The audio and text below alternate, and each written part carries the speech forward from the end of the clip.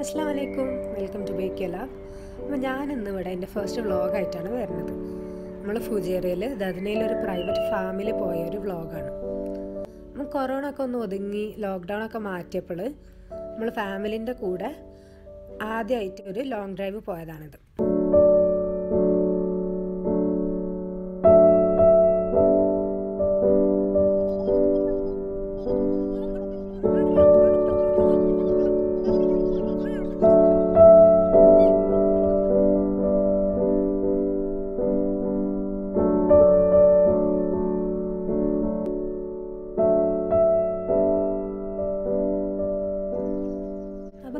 ഫാമിലെത്തി. ഫാമിലെത്തിയപ്പോൾ തന്നെ ഭയങ്കര ചൂടായിരുന്നു.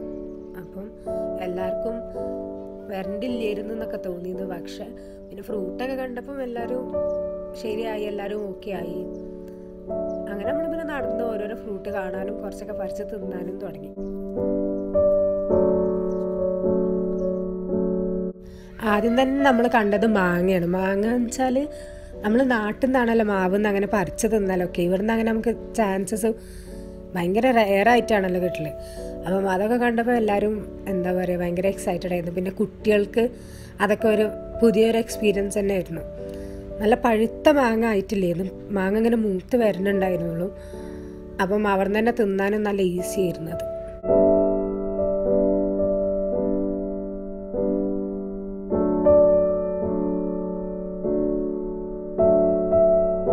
പിന്നെ മെയിനായിട്ടുണ്ടായിരുന്നത് ഈത്തപ്പഴമാണ് ഈത്തപ്പഴം നല്ല ചൂട് സീസൺ ആയതുകൊണ്ട് ഈത്തപ്പഴത്തിന്റെ ആ ഒരു സീസണാണല്ലോ ചൂട് കാലം. അപ്പം മഞ്ഞ ഈത്തപ്പഴം ഉണ്ടായിരുന്നു ചുവപ്പ് ഈത്തപ്പഴം ഉണ്ടായിരുന്നു രണ്ടും കുറേ ഉണ്ടായിരുന്നു അവിടെ. നല്ല പഴുത്തതും പഴുപ്പായി വരുന്നതും ഒക്കെ ഉണ്ടായിരുന്നു എല്ലാ സ്റ്റേജസിലുള്ള ഉണ്ടായിരുന്നു. അപ്പം ഈത്തപ്പഴം പിന്നെ അവരെന്നെ നമുക്ക് കുറച്ച് വീട്ടിലൊക്കെ കൊണ്ടുപോകാൻ അവരെന്നെ പാക്ക് ചെയ്ത് തന്നൊക്കെ ചെയ്തിരുന്നു.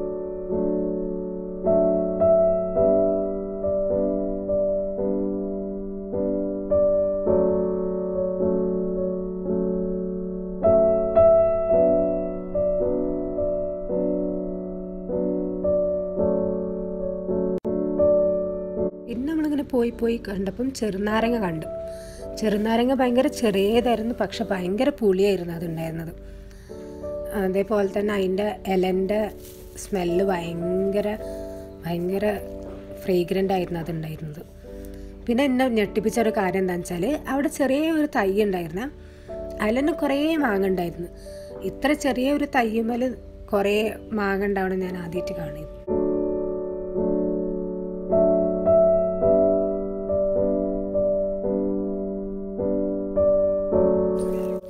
നമ്മളൊരു പഴം കണ്ടത്. വിരിപ്പഴം എന്നാണ് ഉമ്മ അതിന്റെ പേര് പറഞ്ഞത്. ഇത് ഉമ്മൊക്കെ പണ്ട് ചെറുപ്പത്തിൽ തിന്നിരുന്ന ഒരു പഴമാണ്. ഉള്ളിലൊരു സ്റ്റിക്കി ആയിട്ടാണ് ഉണ്ടായിരുന്നത്. പക്ഷെ ഞാൻ കണ്ടിട്ടില്ല ആ പഴം ഇതുവരെയായിട്ടും. അതേപോലെ തന്നെ വേറൊരു പഴം കണ്ടത്. എന്താ ചൈനീസ് കായ എന്നാണ് അവിടെ ഉള്ളവർ നമുക്ക് പറഞ്ഞു തന്നത്. ഉള്ളിലൊരു അത്തിപ്പഴം പോലെ പക്ഷെ റെഡിഷ് കളറായിട്ട് അപ്പോൾ അതിന്റെ പേര് ആർക്കെങ്കിലും അറിയെങ്കിലും ഒന്ന് കമന്റ് ബോക്സിൽ പറയണേ. പിന്നെ പൊമേലോ ഉണ്ടായിരുന്നു. പൊമേലോ നമ്മളെ മാതോളി നാരങ്ങ നമ്മൾ ഓറഞ്ച് ഗ്രേപ്പ് ഫ്രൂട്ടിന്റെ ഒക്കെ ഫാമിലിയിലുള്ള ഒരു സാധനം.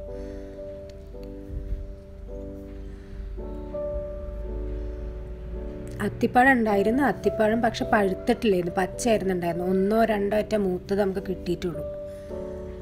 അങ്ങനെ പിന്നെ ഇന്റെ സാധനം വന്നു. ഇത് ഇത് കേട്ടപ്പോഴാണ് ഞാൻ ഭയങ്കര എക്സൈറ്റഡ് ആയത്. ഞാവൽപ്പഴം. ഞാവൽപ്പഴം കുറേ കൊല്ലങ്ങളായി തിന്നിട്ടില്ല. നാട്ടിൽ നമ്മൾ പോകുമ്പോൾ ഇതിന്റെ സീസൺ ആവില്ല അപ്പം കുറേ ആയി ഇതൊന്ന് തിന്നിട്ട് ഭയങ്കര മിസ് ചെയ്തിരുന്ന ഒരു ഫ്രൂട്ടാണിത് അങ്ങനെ ഞാവൽപ്പാഴ അവിടെ നിന്ന് കിട്ടി. അങ്ങനെ നമ്മൾ ഒരു മാരിവ് ബാങ്കൊക്കെ കൊടുക്കാനായപ്പോൾ നമ്മൾ അവിടെ നിന്ന് ഇറങ്ങി രണ്ട് മണിക്കൂറോളം നമ്മൾ അവിടെ സ്പെൻഡ് ചെയ്ത് പിന്നെ കുറേ ടൈം പറ്റൂലല്ലോ